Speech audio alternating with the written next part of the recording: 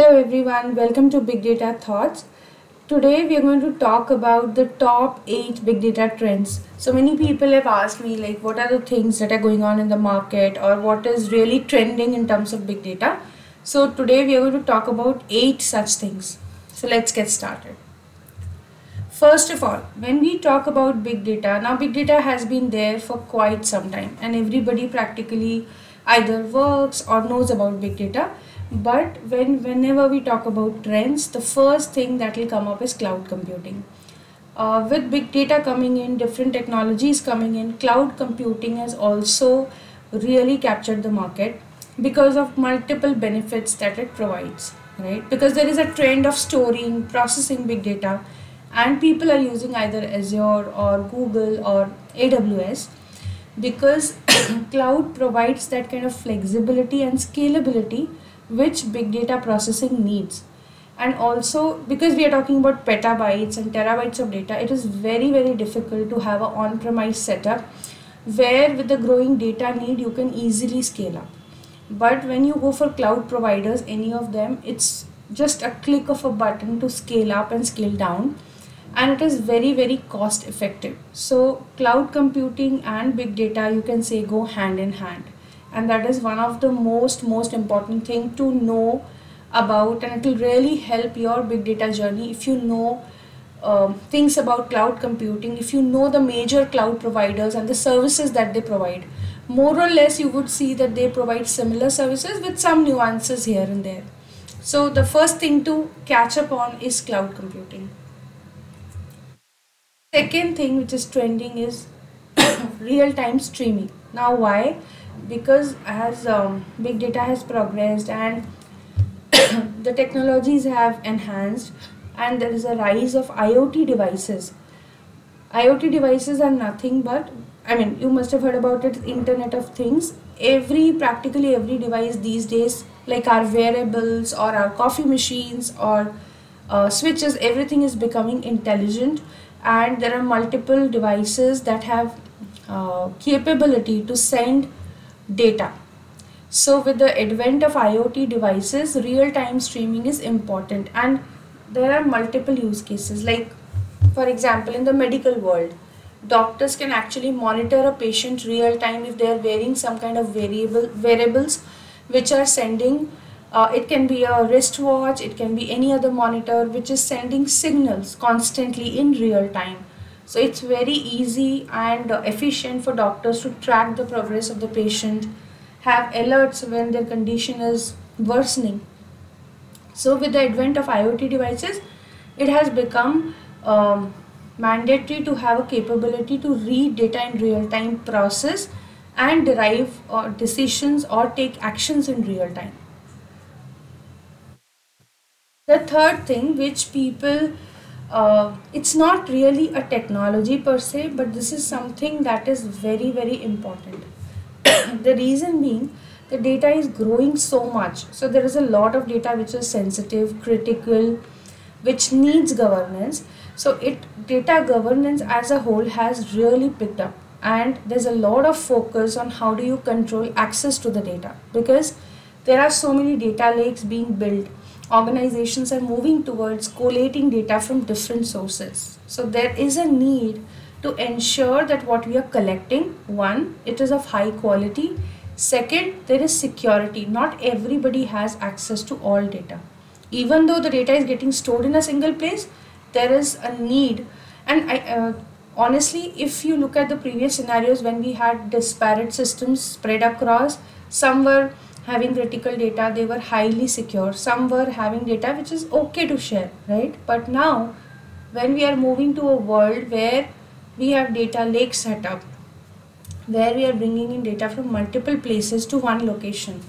the importance of data governance becomes even more critical because you need to ensure that whatever data you are keeping is highly secure, encrypted, masked and given access um, and it is given access to people uh, we are giving access to people who are authorized to access it.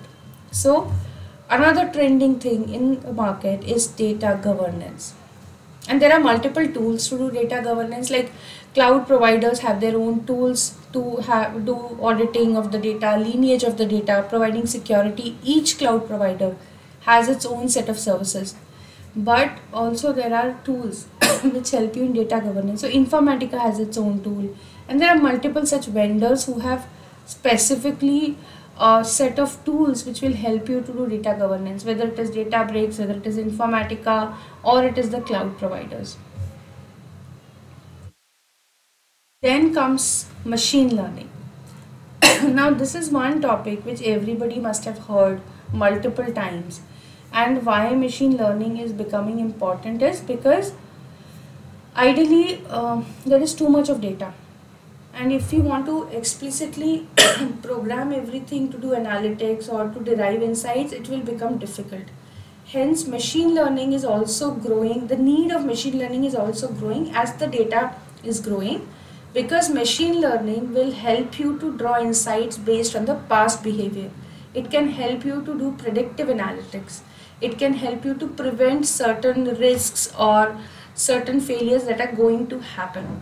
Because the data is huge, it, it would be really helpful to use machine learning data to train uh, certain machine learning models and use them for future predictions and it has become a very very important tool for big data processing and an integral part of the big data journey okay so machine learning if you go back a decade when big data was really picking up and machine learning people but machine learning has been there for ages but it has really uh, like the, the journey of uh, big data has progressed so has machine learning because it helps you to ease that whole processing that you need to now do with so much of data.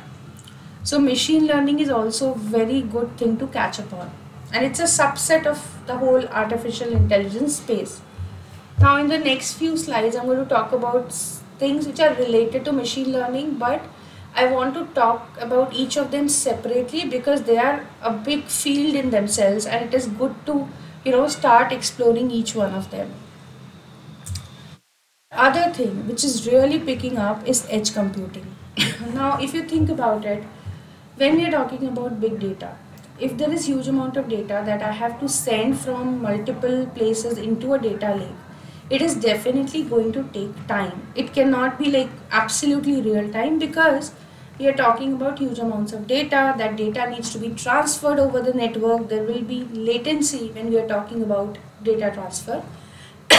Also there is a cost involved. When we are sending terabytes of data over the network one is the speed and the latency the time that it takes and also the cost that it takes.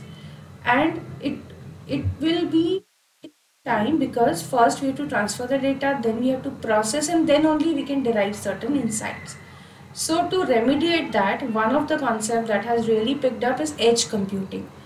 The, as the name suggests right we are trying to do all of this computing that we usually used to do after collecting the data in a centralized place we are now pushing that computing to the source or pushing the computing near the source so rather than taking all the data over the network into a centralized location what we are trying to do we are trying to do the computing or processing at the source itself and then sending the aggregated data back to the central location so the amount of data generated is huge and this edge computing helps in reducing the data transfer, the cost and the latency.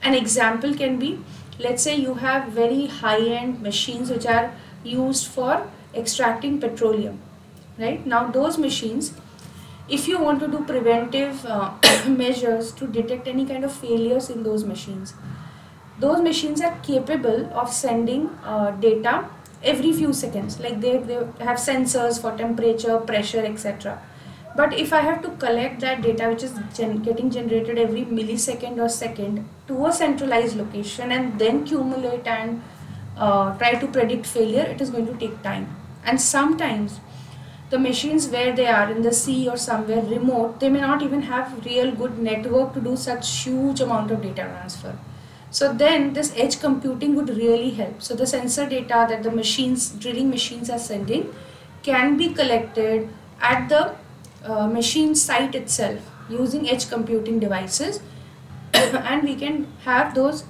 uh, kind of failures predicted. So this is just one of the examples. but edge computing really helps most of the cloud providers would have their own services to do edge computing like for example uh, amazon does provide a snowball device that you can use so initially the snowball device was more about you know transferring data from offline to location to uh, the data center and upload it but now they are come they have come up with smarter versions which has edge computing capabilities at also so this is one more trend which is really picking up it is related to the AIML that we spoke about. This is the integration of AI and big data. Now this is something which is really catching up. The reason being analytics on big data was one piece but now people are wanting to combine AI and analytics together. Like I said, AI can help you to do predictive analytics and much more advanced sophisticated analysis of the uh, huge amount of data that we are getting. It can be NLP, natural language processing, it can be predictive modeling. And there are a number of use cases of doing this predictive modeling. One of them is the one I spoke about, device failure detection. There can be many other use cases like consumer behavior analysis is done, recommendations are given. These are all uh, use cases where we are churning through a huge amount of data and bringing out insights. So the combination of AI and big data is a very, very uh, important and wonderful thing to do. So when we start learning and progressing on the big data journey, it's important to understand big data as a whole, cloud computing, real-time streaming, AI ML, and then further once all these concepts are learned, it is important to combine AI and big data. The other thing that you may hear is explainable AI. Now, people have been looking at AI, ML, big data, all of this, but with the increase of use of AI, lot of AI use cases are being implemented for decision making. So it is important that whatever we are designing or whatever we are building should be explainable. What does that mean? It is usually referred as explainable AI or XAI. That's the acronym. it is becoming very very important because this means that whatever AI models we are building should be transparent and understandable. Because if they are not understandable or uh, if they are not simple enough or transparent enough to understand what is happening the maintainability becomes difficult and the trust on them or the decisions that those models are making becomes a bit difficult.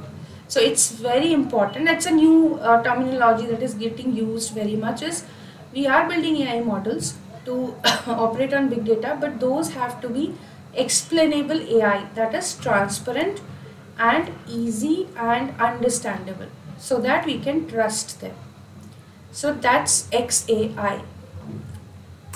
And last but not the least is AutoML. Now what is AutoML? This also you would be hearing whenever people are talking about AIML. It is automated machine learning. This is nothing but a set of techniques that automate the process of applying machine learning. Now, machine learning is in itself is a huge field. So people learn different kinds of AI ML um, algorithms. It's not one just one algorithm. There are a number of algorithms that we can use. So making a understanding a use case, designing a AI ML algorithm, training it, running it is one part. But more than that, there is a there is a whole process like how do you deploy that model? So one piece is development understanding the use case developing it training it right? And making sure that the model is accurate. But even after this we have to deploy this model to multiple environment, environments. We have to retrain it. As in when new data keeps coming you need to retrain the model. And then you need to maintain this uh, model that you have developed so just like we spoke speak about DevOps, right, where we do this whole end-to-end deploy, development, deployment, development, testing, and deployment, maintenance. Similarly, when we build a AI/ML model, it has to have a capability that we build that model, deploy that model, and based on the changes in data, retrain that model and keep on going like doing the same process over and over again. So that whole process is auto ML which is designed to make this whole process of building, deploying machine learning models more easier and accessible to multiple users. So AutoML, explainable AI, machine learning, all of these are kind of interrelated to each other and it, these are very very important terms for someone to know if they want to progress in this big data field. So I hope this whole quick snapshot of the different eight topics that are trending would help you to just get some pointers and then get started on your journey and go deeper into each of these. And maybe in the subsequent videos, I'll try to cover each of these topics in a bit more detail with use cases. So please like, share and subscribe to the channel uh, to get more interesting videos. Thank you so much.